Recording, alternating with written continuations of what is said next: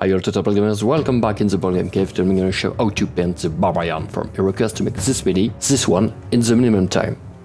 After the undercoat we'll use several types of paints for the skin, the sword, the clothes and shading, and we use two types of varnish. Make yourself comfortable and let's watch together the HeroQuest Tutor Speed Paint number 1.